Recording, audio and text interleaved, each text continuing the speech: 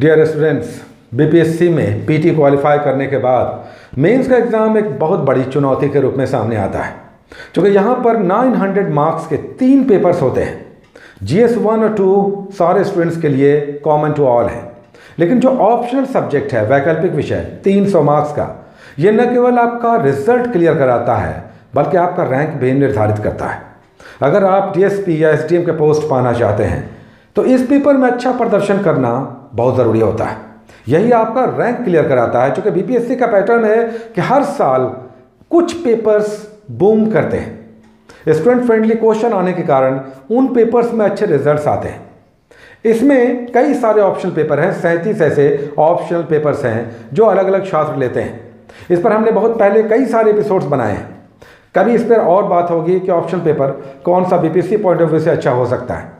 लेकिन आज बात कर रहे हैं हम हिंदी साहित्य के बारे में। हिंदी भाषा और साहित्य बीपीएससी में सिलेबस कैसा है, कितना स्टूडेंट फ्रेंडली है, प्रश्न किस तरह के आते हैं। और अभी एपिसोड समाप्त होते होते सत्तर परसेंट सिलेबस पर आपका विश्वास जग जाएगा। आपका कॉन्फिडेंस मज़बूत हो जाएगा। रेस्ट थर्टी परसेंट सिलेबस पे अगर आप एक्स्ट्रा एफर्ट थोड़ा कर लेते हैं, थोड़ा सा जान लगा देते हैं तो रिज़ल्ट तो आपका कंफर्म होगा ही। आपके अच्छे रैंक्स भी आ सकते हैं। आइए बात करते हैं कि किसी भी, जब ऑप्शन की हम लोग बात करते हैं, इसके सिलेबस को पहले समझना ज़रूरी है। सबसे पहले आइए इसके सिलेबस को देखते हैं। आपको पता चलेगा कि दरअसल किस तरह के प्रश्न आते हैं, कितना बड़ा पोर्शन ऐसा है जो कन्फर्म है, जिससे क्वेश्चन आते ही आते हैं, और आप इन्हें ईजिली हैंडल कर सकते हैं। अगर इसके सिलेबस को देखें, हिंदी भाषा और साहित्य के तो इसका सिलेबस न तो एलएसडब्ल्यू की तरह बहुत छोटा है, और ना ही हिस्ट्री जोग्राफी सोशोलॉजी एंथ्रोपोलॉजी की तरह बहुत बड़ा सिलेबस है। ये सिलेबस आप अगर रफली देखें तो मीडियोकर टाइप का है। दो पार्ट में ये सिलेबस विभाजित है। पहला पार्ट में भी दो खंड है। अगर पहला पार्ट आपने सिलेबस देखा होगा, दो पार्ट में है। पहला भाग हिंदी भाषा और साहित्य का विकास है, जबकि दूसरा भाग विभिन्न रचनाकार, जो लोकप्रिय रचनाकार हैं हिंदी साहित्य के, जिनमें कबीर, सूर, तुलसी, प्रेमचंद, अज्ञे, निराला, प्रसाद या रामचंद्र शुक्ल या दूसरे रचनाकार जिनमें मुक्तिबोध हैं, उन रचनाकारों को तो आपको पढ़ना ही है, साथ ही उनकी रचनाओं को भी पढ़ना है, उन पर भी प्रश्न आते हैं। तो रचनाकार और रचनाओं दोनों को पढ़ना है, दो पार्ट में ये सिलेबस विभाजित है।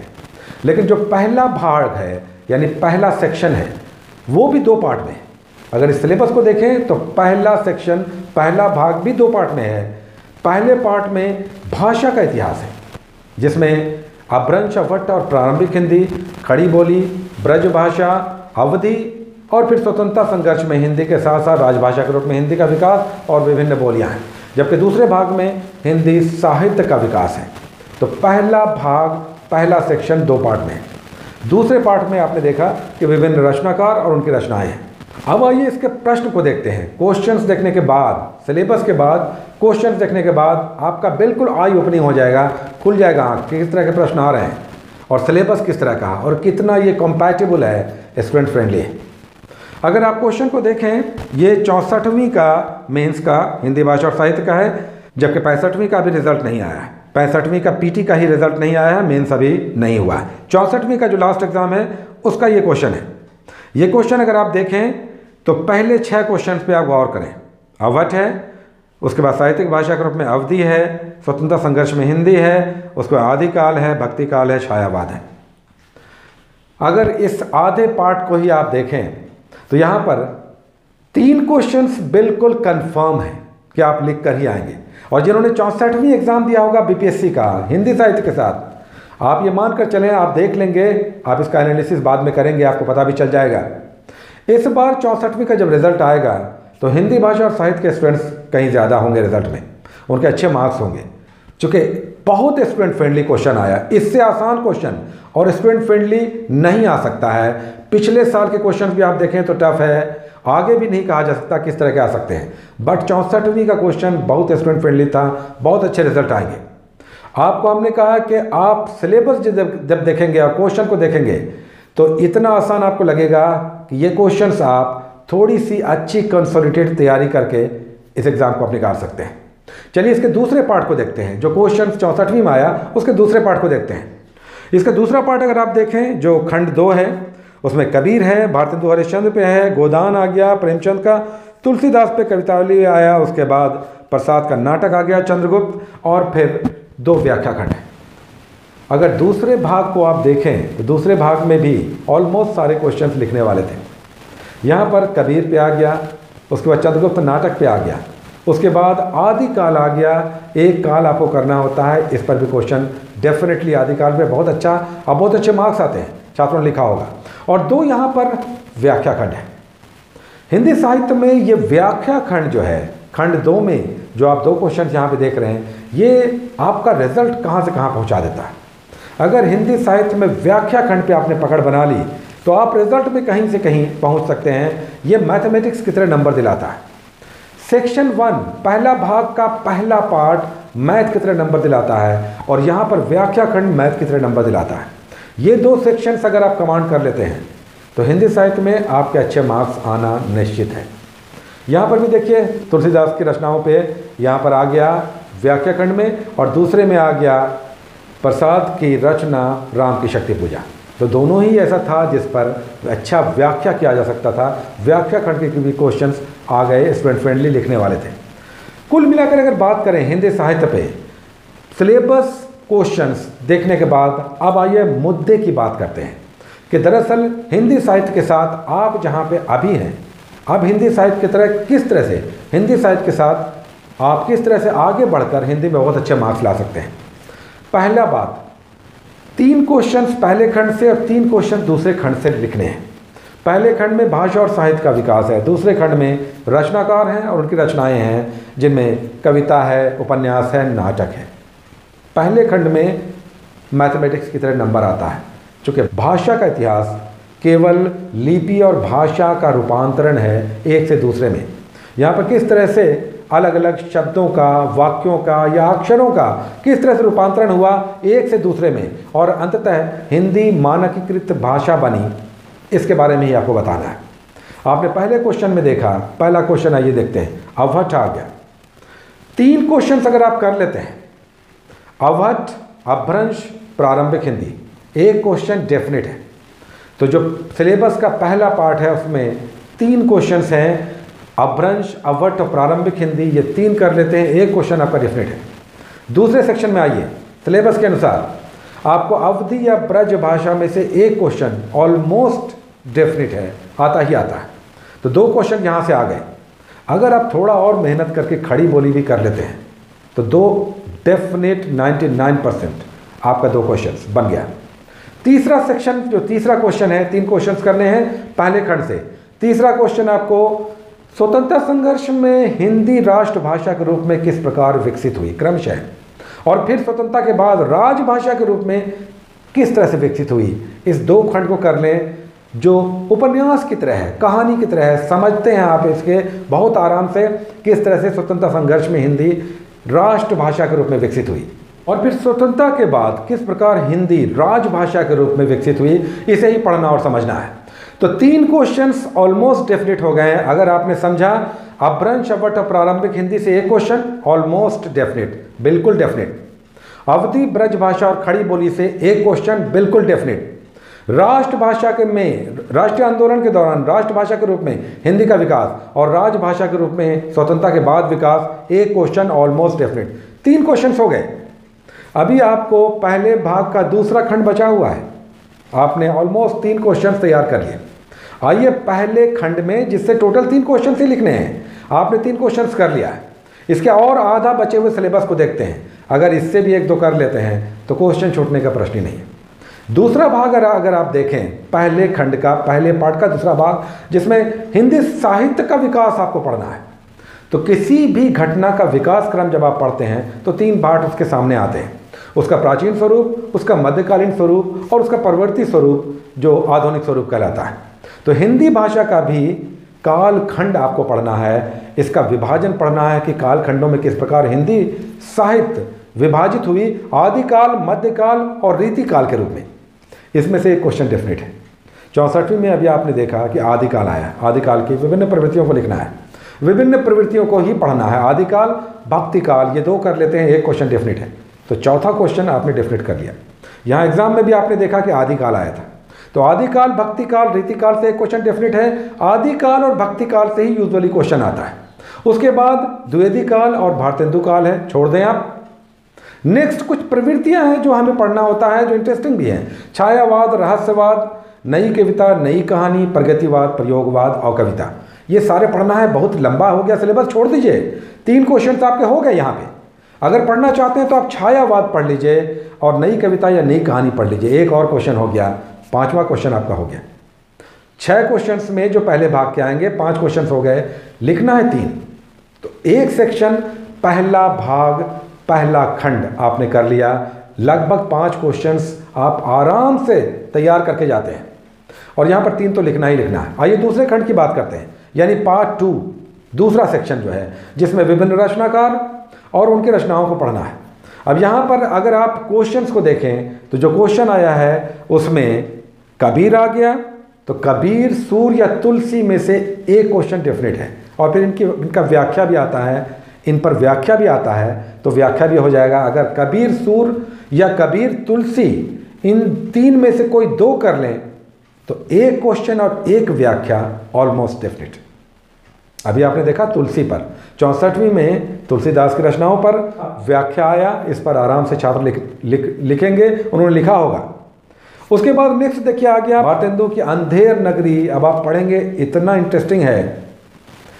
अंधेर नगरी चौपट राजा टकेसर भाजी टकेसर खाजा।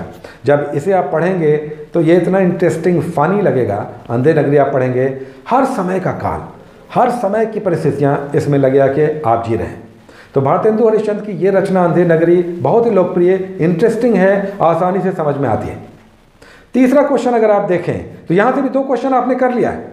कबीर से तो आप करते ही करते हैं, कबीर और तुलसी या कबीर और सूर आप कर लें, तीन में से। तो एक क्वेश्चन डेफिनेट है। तो कबीर देखिए, आ गया है। नेक्स्ट टाइम आप सूर और तुलसी में से कोई एक कर लें, साथ में कबीर के साथ क्वेश्चन एक आप करके जाएँगे। तो यहाँ पर कबीर से आ गया नेक्स्ट भारतेंदु से आ गया। हमने आपको कहा कि जयशंकर प्रसाद, निराला, भारतेंदु हरिश्चंद, इन तीन में से एक क्वेश्चन आना ही आना है। आना ही आना है। भारतेंदु यहाँ पे आया है। तो भारतेंदु पर अंधेर नगरी आया है। दो क्वेश्चन हो गए, कबीर और अंधेर नगरी भारतेंदु की। नेक्स्ट आई अगर तीसरा क्वेश्चन देखें तो गोदान आ गया, प्रेमचंद का गोदान। हर कोई चाह हिंदी साहित्य का हर छात्र इसके बारे में कुछ ना कुछ जानता है, पढ़ना चाहता है। किस तरह से भारतीय किसान जीवन का ये महाकाव्य है, हर छात्र के लिए इंटरेस्टिंग है। आप पढ़ेंगे तो लगेगा कि हर काल में किसानी खेती कितना दुरूह कितना कठिनतर था, कितना कठिनतम था। ये आपको यहाँ पे दिखाई देगा, लगेगा कि आप अभी भी वर्तमान जीवन में भी किसानों की स्थिति यही है। पढ़ेंगे इंटरेस्टिंग है। तो आगे के क्वेश्चन आप छोड़ भी दें तो कोई चिंता की बात नहीं। आप में तीन क्वेश्चन आपको करने हैं। व्याख्या खंड हर हाल में करना है। व्याख्या खंड में मैथ कितने नंबर आते हैं। तो एक क्वेश्चन वहाँ से आपको करना ही करना है, ऐसी तैयारी करना है। ऊपर में देखिए, कबीर आ गया, उसके बाद अंधेर नगरी आ गया। क्या आवश्यकता है? तीसरे प्रश्न को देखने की भी आवश्यकता नहीं है। अंधेर नगरी हर कोई बहुत अच्छे से लिखना चाहेगा। और फिर कबीर पर बहुत कुछ लिखा जा सकता है। तो दो क्वेश्चन हो गए, एक व्याख्या खंड तीन क्वेश्चन तो यहाँ से हो ही गया। लेकिन अगर आप चाहें चंद्रगुप्त नाटक भी लिखना तो अगर आप उस पर आपकी तैयारी है, उस पर आप लिख सकते हैं, या फिर तुलसीदास पर आप लिख सकते हैं। तो तीन क्वेश्चन यहाँ से भी लिखना है स्टूडेंट फ्रेंडली था क्वेश्चन आराम से छात्रों ने लिखा होगा। अब आइए बात करते हैं कि दरअसल इतनी सारी बातें हुई सिलेबस और क्वेश्चन की पैटर्न की। अब आपको क्या करना चाहिए? एज ए स्टूडेंट अब जो आपने हिंदी साहित्य को ऑप्ट किया है तो आपको क्या करना चाहिए? आपने देखा कि सिलेबस भी ऐसा है जो कवर किया जा सकता है। 70 परसेंट जो इसका सिलेबस है, वो कवर कर सकते हैं इंटरेस्टिंग है, पढ़ने में अच्छा लगता है। 30 परसेंट में जो हमने बात किया, वो 30 परसेंट है व्याख्या खंड से क्वेश्चन को करना। जो पचास मार्क्स का आएगा, पच्चीस पच्चीस मार्क्स का दो। पचास मार्क्स अगर ये आप कर लेते हैं मैथमेटिक्स तरह नंबर आता है, इस पर थोड़ा एक्स्ट्रा मेहनत करना होगा, सारे रचनाकारों की को डिटेल पे पढ़ना होगा। व्याख्या करने के लिए पूरी रचना को बहुत अच्छे से समझना और उस रचनाकार के, उसकी सोच, उसकी रचना का कारण, उसकी रचना का स्वरूप, ये सब समझना होगा, तभी आप इस पर लिख सकते हैं। तो अब वैसे छात्र जिन्होंने हिंदी साहित्य ऑप्ट किया है, पैंसठवीं में रिज़ल्ट की उम्मीद कर रहे हैं और इस एग्ज़ाम में अपेयर होंगे इस सब्जेक्ट के साथ। मेरा ये कहना है कि आप अब्रंश अवट और प्रारंभिक हिंदी तो आपको करना ही करना है। एक क्वेश्चन आपका डेफिनेट हो जाएगा। अवधि ब्रज भाषा और खड़ी बोली आपको करना ही करना है। तो ये छः क्वेश्चन आपको करना है। दो क्वेश्चन आपके डेफिनेट होंगे। पहले खंड को बहुत अच्छे से तैयार करना है। इसमें अक्षरों का, शब्दों का, वाक्यों का केवल रूपांतरण है। उनका संगठन है। किस तरह से भाषा का विकास हुआ। ये मैथ की तरह नंबर दिलाता है। तो ये सेगमेंट यानी सेक्शन वन का पहला पार्ट भाषा का इतिहास आपको बहुत अच्छे से करना है। साहित्य का इतिहास से अच्छा है, भाषा का इतिहास पर पकड़ बनाना, मैथ की तरह आपको नंबर दिलाएगा। तो ये दो सेक्शंस अवधि ब्रज भाषा खड़ी बोली और अब ब्रंश अवट और प्रारंभिक हिंदी से छह क्वेश्चन आपको करना है, दो क्वेश्चन डेफिनेट हो जाएँगे। उसके बाद स्वतंत्रता संघर्ष में हिंदी भाषा का विकास और राजभाषा के रूप में स्वतंत्रोत्तर, जो राजभाषा के रूप में हिंदी का विकास हुआ, इसे करना है। तीन क्वेश्चन आपका यहीं से हो जाएगा। लेकिन इस पहले खंड के दूसरे भाग में, जिसमें साहित्य का विकास है, उसमें आदिकाल और भक्ति काल आपको अच्छे से करना चाहिए। यहाँ से एक क्वेश्चन आता है, प्रवृत्तियाँ केवल लिखना है, आसानी से समझ में आता है, जो भी इसका डिस्क्रिप्शन है। जो कुछ भी आदिकाल और भक्ति काल की प्रवृत्तियाँ दिया हुआ है, उसे ही आपको यहाँ पर डील करना है। तो यहाँ से भी आपको एक क्वेश्चन तैयार करना है, ताकि अगर पहले खंड से दो ही क्वेश्चन हो पाए तो यहाँ से आप कम से कम एक क्वेश्चन कर लें। और फिर छायावाद तो आ चुका है अब आप नई कविता और नई कहानी के साथ प्रगतिवाद और प्रयोगवाद, एक क्वेश्चन यहाँ से आपका डेफिनेट हो जाएगा। तो कुल मिलाकर आपको आदिकाल, भक्तिकाल, प्रगतिवाद, प्रयोगवाद, नई कविता, नई कहानी, यहाँ से इस सेगमेंट से करते हैं एक क्वेश्चन डेफिनेट और पहले खंड से भाषा का विकास से करते हैं दो क्वेश्चन डेफिनेट तीन क्वेश्चन आपका पहले खंड से हो गया, सोचना ही नहीं है। दूसरे खंड में आपको कबीर या सूर में से कोई एक आप करें और तुलसी आप कर लें। या कबीर और सूर कर लें तो ये आप करें। कबीर और सूर कर लें या कबीर और तुलसी कर लें। इंटरेस्टिंग है, यहाँ से एक क्वेश्चन आपका बन गया। व्याख्या खंड भी एक हो जाएगा यहाँ से आपका। और साथ में हम कहेंगे कि निराला बहुत अच्छे से करें। राम की शक्ति पूजा आ गया है, सरोज स्मृति आपको करना होगा। सरोज स्मृति करना होगा, प्रसाद आप करेंगे तो नाटक चंद्रगुप्त आ गया है। तो कामायनी आपको प्रसाद का करना होगा। प्रसाद और निराला आप कर लें, और उधर कबीर और सूर्य या कबीर और तुलसी में से कोई एक आप कर लें। तो आपका काम बन जाएगा, सोचना नहीं है। व्याख्या खंड हर हाल में करना है। तीन क्वेश्चंस इस सेगमेंट से करने हैं।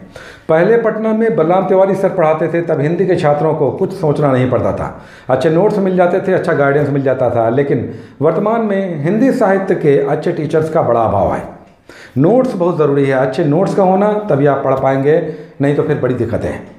बहुत सारे लोग दृष्टि का नोट्स लेते हैं। दृष्टि का नोट्स तो रियली बहुत अच्छा होता है बट वो शुद्ध रूप से यूपीएससी का नोट्स है। दृष्टि वाले कभी भी स्टेट पीसीएस के लिए बहुत डेडिकेटेड नोट्स नहीं बनाते।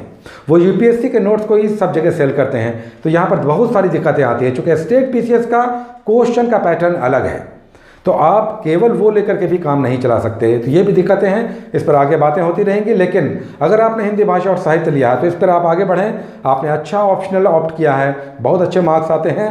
आप ये मान कर चलें कि बहुत अच्छी संभावनाएँ हैं इस ऑप्शनल के साथ बीपीएससी को निकालने की। Take care